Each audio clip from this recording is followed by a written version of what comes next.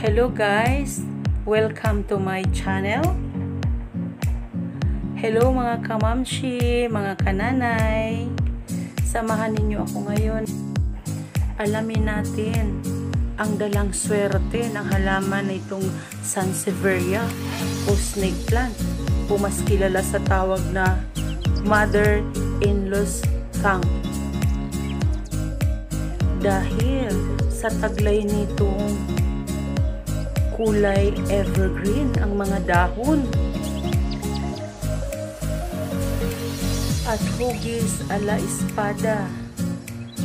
Kahulugan nito ay nagdadala ng magandang kalusugan,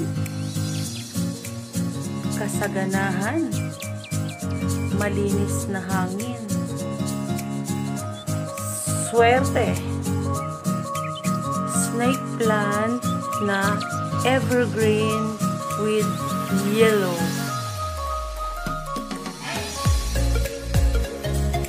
Ito naman, snake plant stick. Nagsisimbolo ito ng mahabang buhay.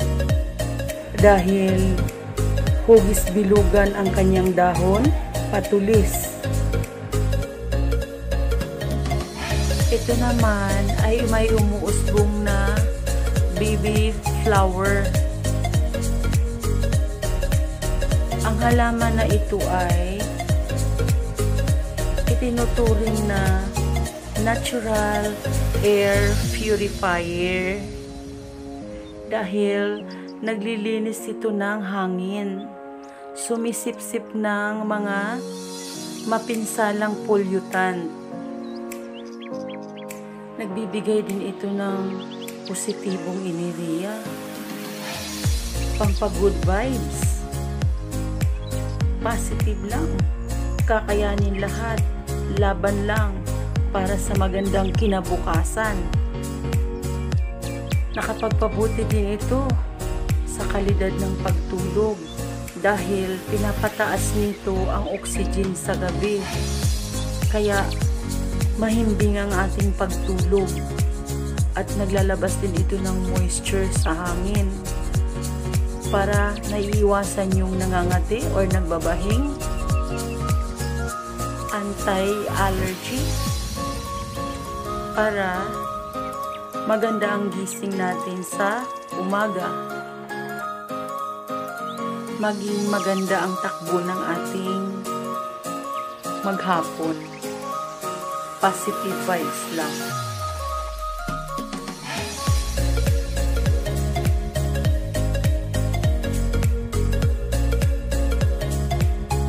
maghanda naman tayo ngayon ng lupa. Ito, pinaghalong good soil at saka loam soil. And dadagdagan muna natin yung paso dahil kulang na yung lupa kasi kakadilig. Umiimpis din yung lupa sa paso. So, kailangan mo din paminsan-minsan dadagdagan ng lupa. Ayan, ito na. Para madagdagan naman siya para pag binuhusan uli siya ng tubig hindi masyadong lumalim yung kanyang lagayan konting ayos-ayos lang okay na yan Ayan. bawasan pa kasi medyo marami pa siya pa, kasi pag tinanim natin yung maliit na snake plant aapaw din yung lupa. So mas maganda yung hindi na siya. Ngayon kunin na natin. Ito na. Ay hindi ko kakayanin. Kuha tayo ng nasudsud. Ayan, dahan-dahan lang kasi ang pasong ito, hindi naman to kasing tibay ng paso na lilipatan dahil ang paso na to ay gawa lang to sa tela, lumang tela, pinagluma ang tela at simento. Ayan, ito itatanim na natin. Ayan, may ugat siya at saka buo siya konting ice-ice lang. Yan, tapos, didiin na natin siya para pag diniligan siya, hindi siya matutumba. Ayan na. Maganda na yan. Gaganda yan kasi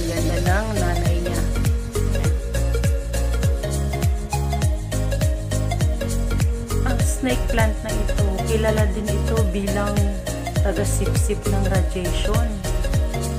Malaking tulong ito pag inilagay mo sa malapit sa mga gadgets o kaya sa may TV o kaya sa mga kahit anong devices na gumagamit ng kuryente. Malaking tulong ito. Sisipsipin niya yung lahat ng radiation na Ayan, ito na. Tapos na natin i-repat. Didiligan natin sila. Ang pagdidilig nito, ganito lang, mahina lang yung ano ng tubig, daloy ng tubig sa spray kasi para hindi masisira yung dahon niya tsaka hindi rin lalong umiimpis yung lupa. Ikaw na pag malakas kasi ang buhos ng tubig lalo yung lupa mabilis umimpis. Kaya ganyan lang, tsaga-tsaga lang ng ganyan. Basain lahat ang mga dahon. Ayan, may mga dahon na rin na medyo matanda na, kaya siya siguro naninilaw na. Ayan. Pero hindi ko pa siya pwedeng kukunin kasi sayang. Hindi pa siya totally laya eh. Kaya, yan, tsaga-tsaga lang talaga. Tsaga ka talagang napakaganda ng mother plant. Ganda ulit. Yan, isang umaga oh. Na-surprise ako. Gulat ako, merong maliliit na usli. Yung pala bulaklak na siya. Ayan, pangatlong araw. Minomonitor ko kung bumubukadkad na ba yung kanyang bulaklak. Ayan, hindi pa masyado. Kunting buka pa lang. And the fourth day, nakita ko yun yan, pang tanim. Ayan yung tinanim natin kanina. Yan. Fourth day na, konti-konti na na mayroong nagbuka. And the fifth day, buka na talaga siya. Totally buka na siya. Yan. Lahat na siya buka pero hindi pa kasing boom.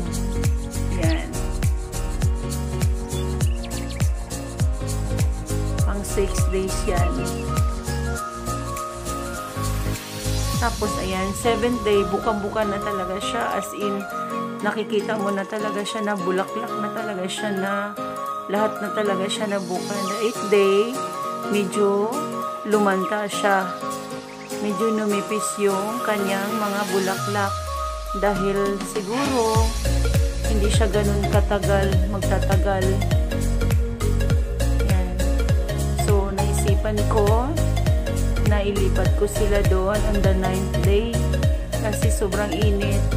Lalo siyang nalalanta yung kanyang bulaklak. Ayan. Ang ganda niya oh.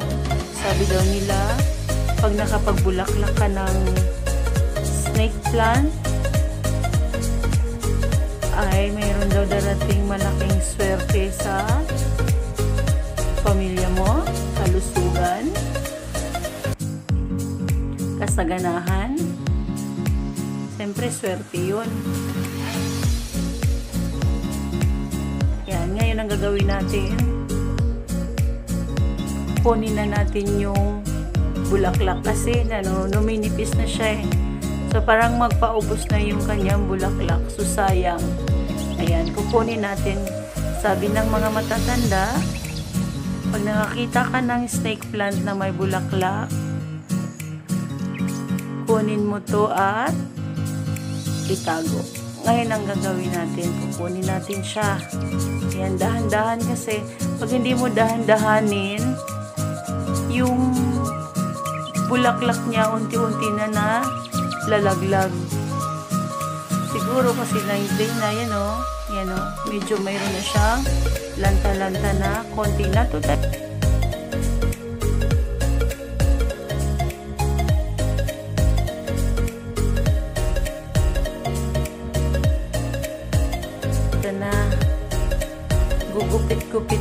Natin. Yan. Dahan-dahan lang ang pagupit para buo pa rin yung kanyang bulaklak. Ayan. Tsagain mo talaga para hindi masisira yung bulaklak kahit iwahiwalay na siya dun sa kanyang stick. Ayan. Tsaga lang. Gawin natin siyang pampaswerte. Ang pampaswerte ay gabay lamang sa atin na sa ating pagsisikap pa rin, pagpupursigi sa buhay para gumanda yung ating kinabukasan at higit sa lahat, mananalig at mananalangin sa Diyos, hilingin lahat ang ating kagustuhan para ibigay niya. Isisilid na natin siya sa maliit na kulay red na pouch. Ang red ay swerte. Lalagay natin yung bulaklak ng snake plant na nagdadalang swerte. So, lagayan red ay swerte. Bulaklak ng snake plant ay nagdadalang swerte. So, i-claim na natin ang malaking swerte, siksik liglig at umaapaw na kasaganahan, kasaganahan sa kalusugan, kasaganahan sa pag-uunawa, kasaganahan sa kayamanan,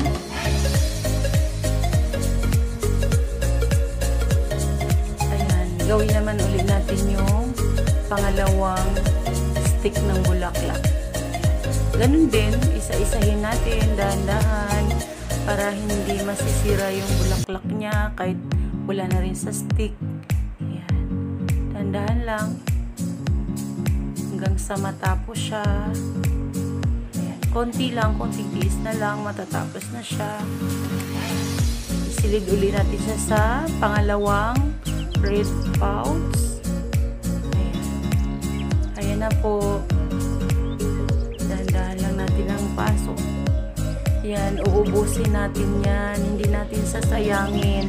Kahit isang perasong bulaklak niya, kailangan isilid natin siya sa red pouch para makagawa tayo ng dalawang balot na pampaswerte. Ayan na, ito na po ang ating dalawang balot na pampaswerte. Panginoong Jesus, sana ibigyan mo ako at pagkaluban mo ako ng siksik-liglig na kayamanan, kalusugan kapayapaan at sa ganun makatulong ako sa nangangailangan.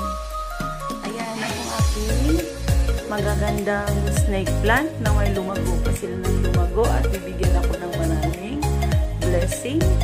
Maraming maraming salamat po sa mga nanonood ngayon. Naway nakapagbigay ako ng konting kaalaman sa magandang hatid nitong halamang snake plant.